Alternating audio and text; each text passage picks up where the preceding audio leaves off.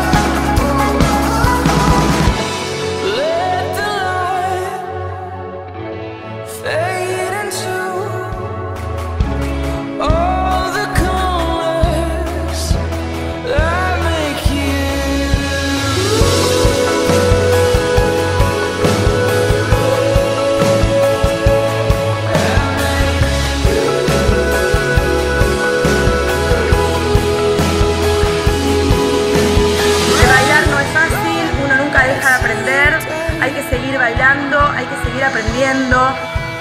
Gracias totales, gracias libertad.